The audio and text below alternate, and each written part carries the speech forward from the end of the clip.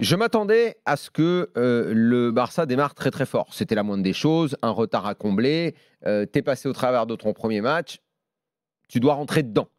Maintenant, je pense que le PSG était en mesure de prévoir que ça allait se passer comme ça. Donc, soit tu t'attends à ça, soit tu es prêt psychologiquement à affronter ça. Et dans ces cas-là, eh bien, tu résistes parce que c'est des vases communicants, la possession de balles, le, le- le- comment dire, le, le gain terrain, la façon de, progresser, à la hauteur de ton bloc. Le PSG a été absolument incapable de répondre à tous ces aspects-là du match. Le Barça a fait le début de match qu'on attendait. On peut me dire un très gros match, une très grosse première période.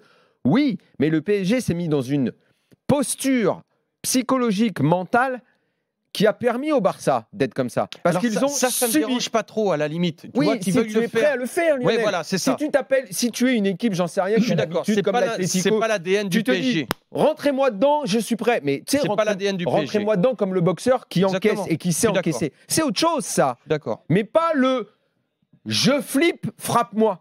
Et je on verra pas ce qui se qu'ils aient passe. flippé. Je crois Si, pas qu'ils aient flippé. Lionel. Non, Il faut pas avoir peur des mots. Lionel, n'ayons pas peur des mots. Je Ils pense se pas, sont Daniel. chiés dessus. Mais attention, Mais par contre, dans la gestion des émotions, où je- là où je te rejoins, je pense pas Tu qu'ils crois pas qu'il y a eu le retour du caca culotte là? Si, Non. si, Non, je pense pas. Lionel, non, non, problème- parce qu'en plus, il y a que trois joueurs. euh, si vous avez dans la tête, euh, dans l'esprit, le, On l'a vu le caca culotte. Lionel, clairement. Lionel, Moi, je pense pas. Je pense là, par contre, dans la gestion du match, là où, où ça va pas, c'est que, ok, tu les laisses venir pour faire les contre-attaques. Pour moi, c'était le plan de jeu.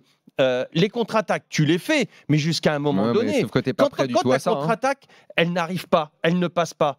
Pied sur le ballon, et là, tu es capable de jouer. Et là, tu redeviens Mais toi-même. pour ça, et il faut c'est gérer, il faut gérer l'émotion pour faire ça. Et c'est là où c'est très compliqué, où Daniel a raison. C'est-à-dire que tu dois passer à un esprit de conquérant, guerrier et tout ça, à un, à un aspect de virtuose, où tu dois rede- redevenir dans ton. Et là, dans ton cerveau, ça, il n'y a que les grands joueurs et les grandes équipes qui sont capables de le faire. C'est difficile à expliquer comme ça aux Bien. gens, mais je te promets il faut que ajouter quand tu es guerrier, euh, c'est Mm. vraiment un état d'esprit où c'est très compliqué. Tu mets le cœur, les tripes, moi ce que j'appelle TTC, la tête, les tripes et le cœur.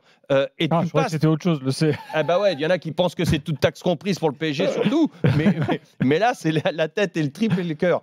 Et, et tu passes après un état de virtuose. Cet état-là, le PSG est capable de l'avoir, mais l'avoir dans le même match, comme dit Daniel, gérer ces émotions-là, passer de guerrier à virtuose, c'est très compliqué et Ah, le PSG ne sait pas élément. le faire. On pour vu. ça, pour ça, il faut des leaders. Alors Lionel, Il faut des, il faut des, bah oui, il y a eu des leaders, il y a eu aussi un changement d'état d'esprit par Bah non, rapport bah à là, la- il n'y en a pas eu, justement. À part en Navas. deuxième mi-temps, en deuxième mi-temps, ça a changé.